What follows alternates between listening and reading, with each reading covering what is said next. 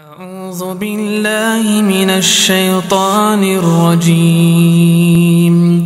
بسم الله الرحمن الرحيم.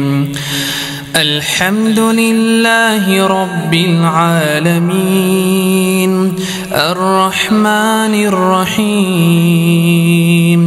مالك يوم الدين. إياك نعبد وإياك نستعين.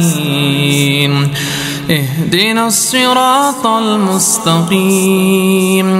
صراط الذين أنعمت عليهم غير المغضوب عليهم ولا الضالين.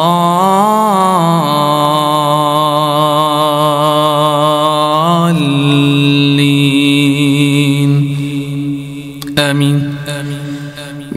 ٹھیک اسی طرح جو ہے ساتویں دن جہاں عقیقہ آپ کریں گے یہ سنت ہے وہیں اس کے بال ترشوائیے بالوں کے وزن کے برابر سونا یا چاندی تقسیم آپ صلی اللہ علیہ وسلم کرتے، ٹھیک؟ ہے اسی طرح اس کا اچھا سا نام رکھتے، لڑکے ہوتے تو ان کی ختنہ کرتے، ٹھیک؟ ہے تو یہ سب کام کرنے کی آپ کوشش کریں۔ اسی طرح صحابہ سے ایک عمل ثابت ہے کہ جب آپ بچوں کا سر منڈا دیتے، تو اس کے بعد صحابہ دودھ کے اندر زعفران ڈالتی صحابہ کا عمل بول رہا ہوں۔ سنت سے ثابت نہیں بھرا لیکن صحابہ کرتے تھے یہ۔ دودھ میں زعفران ڈالتے تھے، زعفران جو ہوتا ہے۔ زعفران سے مراد وہ زعفرانی رنگ نہیں، زعفران، ٹھیک؟ جو ایک ہاں کیسر جس کو بول اس کو ڈالتے، اس کو ملا کر، اس بال پر، سر پر لگاتے۔ اس کی حکمت جو علماء بتاتے، شاید یہ رہی ہوں گی کہ کیسر جو ایک قسم کا اینٹی بایوٹک ہے۔ تو چونکہ جو بلیڈ ریزر ہوتے تھے، وہ لگ جاتا ہے سر میں جب بچے کرتے ہیں، تو شاید اس کا جو ہے اثر ختم کرنے کے لیے دودھ اور وہ لگایا جاتا ہوں گا۔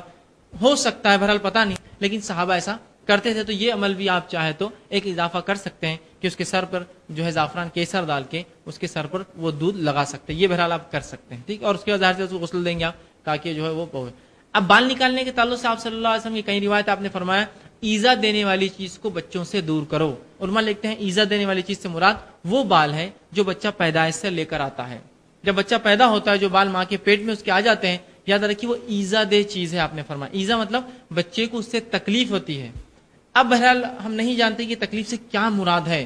کیا اس کو کوئی واقع میں جسمانی تکلیف ہوتی ہے یا اس کو کوئی شاید مطلب نفسیاتی طور سے شیطان اس پر یا اس طرح کی تکلیف؟ واللہ عالم لیکن بہر رسول اللہ نے جب کہہ دیا، ایزا دینے والی چیز کو دور کرو، تو بہرحال اس پہ عمل کیجیے کچھ لوگ کہتے نہیں، وہ پیدا ہوگا جو بال رہیں گے تو ہمارے پاس خاندانی طریقہ ایک سال بعد کاٹتے۔ آپ کے خاندانی اور میرے خاندانی طریقے سنت پر فوقیت، سنت سے اونچے نہیں ہیں۔ تبدیل کیجیے ان خاندانی طریقوں کو۔